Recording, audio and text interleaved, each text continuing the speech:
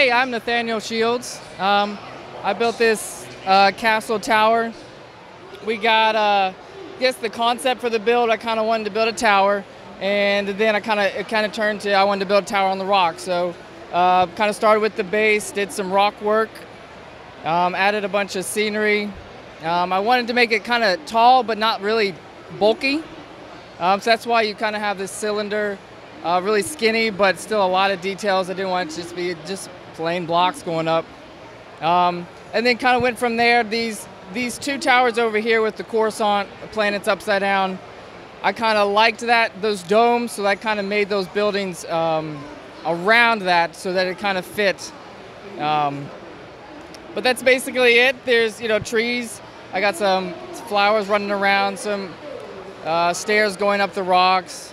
Just a bunch of little different techniques I was messing around with. So. Yeah, it's just a, a, beautiful combination of many different great techniques here. One of them is the, the base itself is kind of that brick bending. So, uh, talk about how, what that's like for you. That wasn't. Uh, I actually had this base originally in another MOC, okay. but knowing that I wanted to kind of make a circular round rock work with a, a, tall tower, thought it would be best to incorporate this base with it.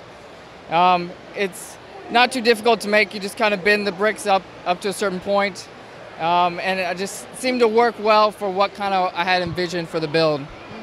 Exactly. And then all that rock work is really nice. Do you build that in different sections and kind of stick it on there? Yeah, so I kind of start with one section.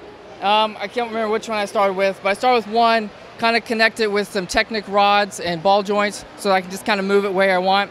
And then just slowly uh, kind of work my way around with just making the angles match up as much as possible, you know, to make it look sort of organic as possible with the you know the square bricks that we have. So. Yeah.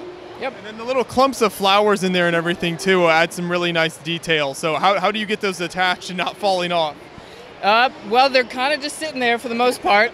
And honestly, a few of them are just uh, hiding some cracks that I couldn't fill in. But it works really well with uh, just kind of tricking the eye that maybe the scenery's round and that you have that. And it's fairly easy to build. You just keep the flowers intact and then put the stems in each one and just kind of, you know, make it one whole piece there.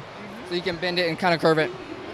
Yep. And then as we move up the tower, what are some of the pieces used for the kind of the textured greebling look there? Uh, we got the kind of the mixel joints, kind of turn those upside down to kind of use like some texture maybe that would be in the rock work. Um, you got uh, lightsaber knobs here. Just kind of, I kind of went with a little kind of basic structure at the beginning and then kind of add a bunch of textures and little pieces to kind of kind of break it up with the eye and make it look more, you know, organic that they made it out of stone or something like that, you know? Mm-hmm. Yep. And down here on the Rockway, I really love, is that like flex tubing with the different uh, kind of clips on there to make that fence railing? Yeah, yeah, that kind of, I wasn't going to put a railing there at first, and then I kind of found this piece, and I was like, hey, let's, let's curve it around and see what I can do.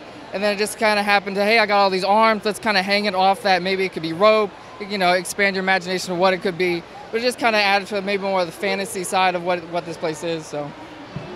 And what's it like bringing this to a show when you when you transport this around?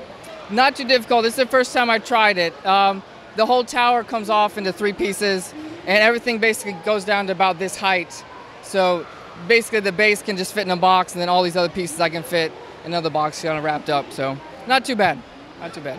Well, it's an excellent build, and you won the, the best castle slash knights here trophy. So congrats. Enough people liked it. so I think they did. Thanks so much for taking us through the build. Appreciate Absolutely. it. Absolutely. Thank you.